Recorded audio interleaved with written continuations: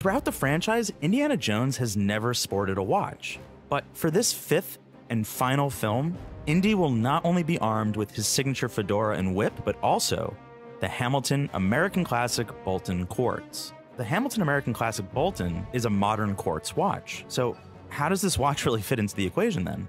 Well, that being said, the American Classic Boulton Quartz is a modern interpretation of the Hamilton Boulton, first introduced in the 1940s.